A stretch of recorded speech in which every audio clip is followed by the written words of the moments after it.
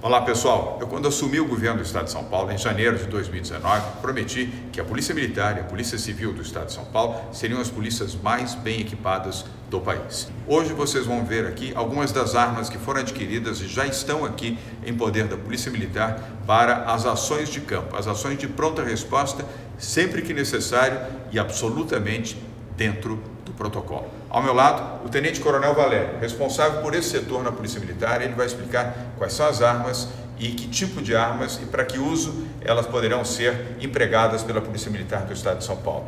Ao meu lado também, Coronel Salles, comandante-geral da Polícia Militar do Estado de São Paulo. E o General Campos, secretário de Segurança Pública do Estado de São Paulo. Uh, Coronel Valério, aqui quais são as armas? Vamos começar por essas aqui. São armas americanas de imobilização, é isso?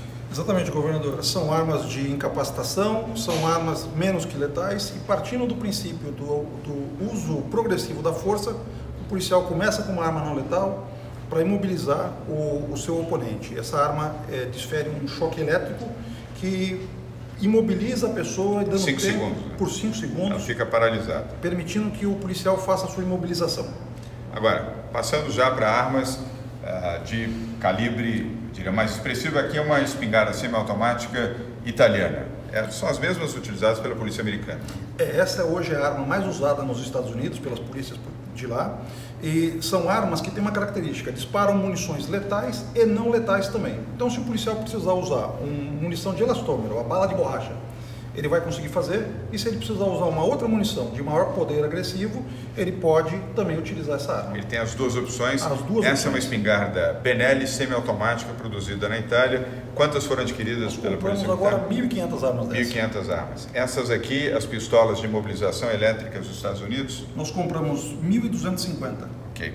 Agora vamos aqui a essas armas aqui que já são fuzis belgas. Os dois podem parecer iguais, mas não são função e quantidade que foi adquirido pela Polícia Militar? Esse fuzil é um fuzil de plataforma ACR, um fuzil adaptativo. Esse é o calibre 556 para uso urbano e aquele é um fuzil é, 762 para uso em maiores distâncias.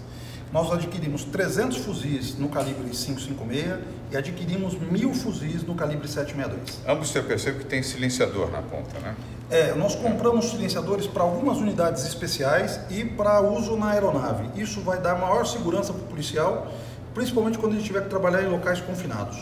E aqui nós temos as pistolas. As pistolas Glock produzidas na Áustria são as melhores pistolas do mundo, são aquelas utilizadas pelo FBI, Polícia de Nova York, de Los Angeles eh, e de São Francisco, são as melhores armas do mundo.